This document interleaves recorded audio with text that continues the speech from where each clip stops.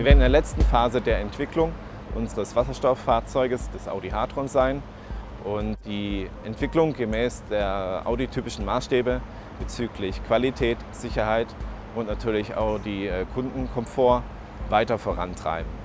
Wir haben bereits jetzt die Entwicklungshoheit im VW-Konzern für die Brennstoffzelle, welches für unsere Marke das Thema Vorsprung durch Technik klar unterstreicht. In sieben Jahren werden wir mit unseren Entwicklungspartnern äh, wichtige technische Meilensteine erreicht haben, wovon auch die anderen VW-Marken profitieren können, durch die Entwicklung eben des Technologiebaukastens und durch Skalierungseffekte. Weiter denke ich, dass die Infrastruktur bezüglich Wasserstoff weiter ausgebaut ist. Das heißt, ich gehe davon aus, dass es ein flächendeckendes Tankstellennetz gibt, wo man eben problemlos betanken kann, wie beim Verbrenner auch, innerhalb von drei Minuten.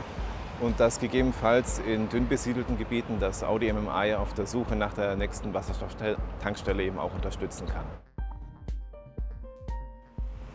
Also ich persönlich denke, dass sich die äh, Brennstoffzellentechnologie als alternativer Antrieb etabliert hat, aber auf Augenhöhe mit allen anderen alternativen Antrieben wie äh, der Batterie, CNG oder E-Fuels und es eine komplementäre Ergänzung eben zu den anderen alternativen Antrieben ist, die sich jeder Audi-Kunde je nach dem Use Case, den er hat, dann raussuchen kann, wie möchte er denn emissionsfrei unterwegs sein.